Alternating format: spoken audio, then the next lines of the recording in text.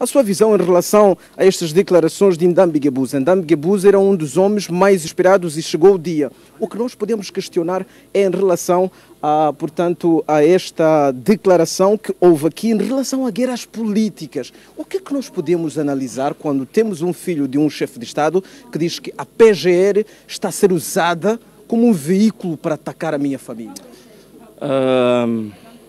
bom, é assim. O que está a acontecer é o seguinte: é uma questão de estratégia que a defesa está a usar. Sob o ponto de vista do público, naturalmente que o julgamento chegou a um ponto decepcionante.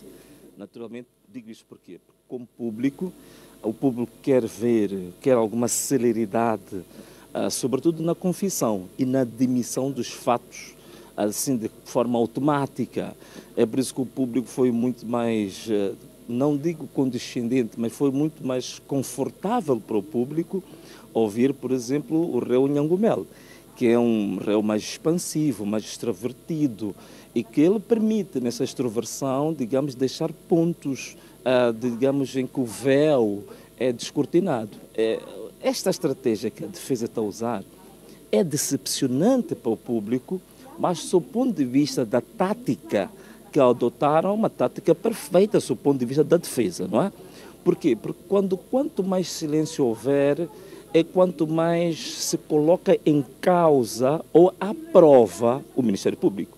O que está a acontecer agora, uh, para além do réu, o Ministério Público também começa a ser co-participante do julgamento. Significa que, em parte, o Ministério Público também está colocado à prova.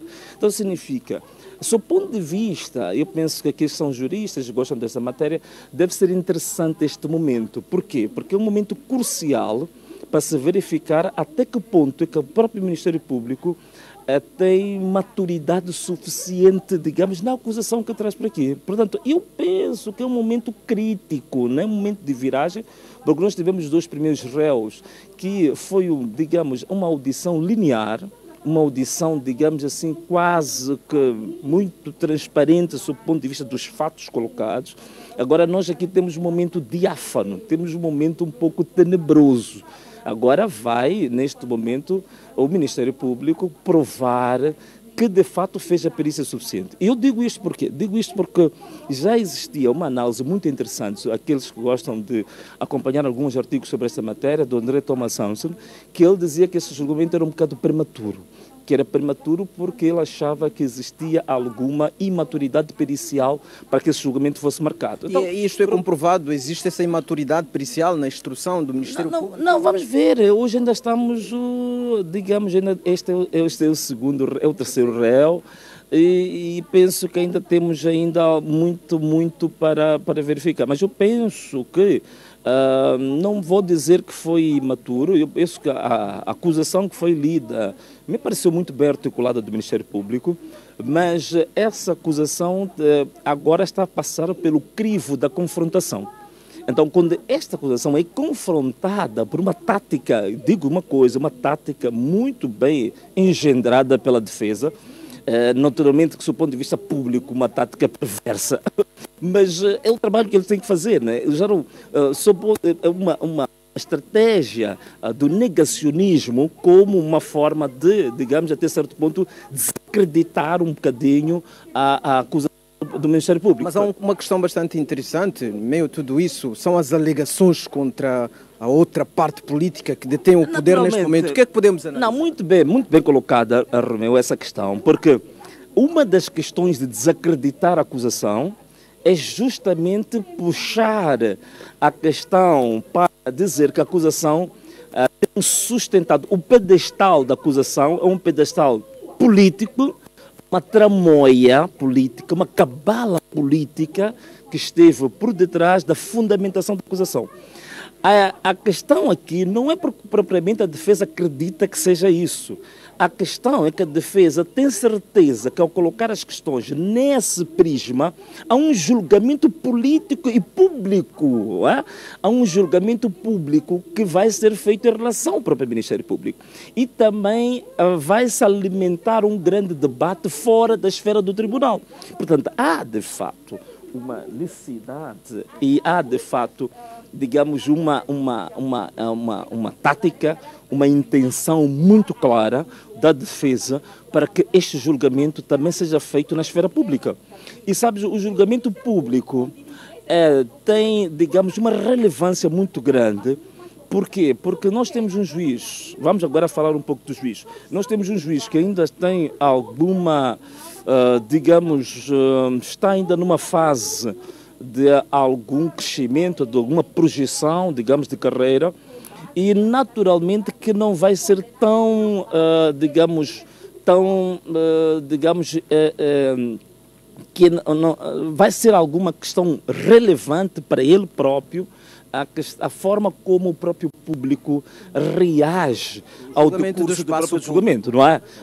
Uh, nós vamos ver isso. Então, se nós formos a ver a própria postura do próprio juiz hoje, se, se me permitisse fazer essa, essa análise, há uma, há uma ligeira condes, ligeira não, uma, uma acentuada condescendência do juiz. algum romance diferente do que era antes? Naturalmente, eu noto, eu noto claramente da parte do juiz uma condescendência maior para este réu do que os outros anteriores. Por exemplo, a questão que foi colocada, que o Ministério Público coloca e que agora foi, o Ministério Público foi colocado numa camisa de forças, porque o próprio juiz, eh, digamos, anuiu ah, o, o protesto da defesa, quando a, a defesa diz que há perguntas sugestivas ah, e também, eh, por exemplo, quando a própria a, a, a magistrada ela diz que o réu estava a faltar a verdade.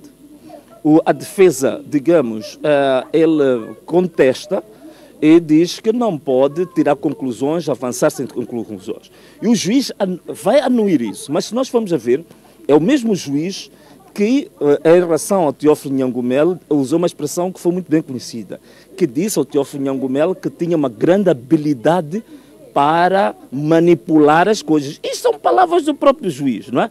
Se o juiz assumiu essa postura de julgar até, digamos assim, a estratégia do próprio réu em, em responder, não pode de forma nenhuma colocar o Ministério Público numa camisa de forças. Portanto, o próprio juiz está a empurrar o Ministério Público para uma situação de estar entre a espada e a parede. Portanto, eu penso que hum, há que há, hoje é um dia interessante porque algumas coisas se vão revelando que enquanto o julgamento era conduzido de uma maneira uh, mais ou menos uh, uniforme, sem muitos sobressaltos, em que havia grande cooperação dos réus, digamos, o Ministério Público e também o juiz da causa uh, estavam um pouco mais tranquilos.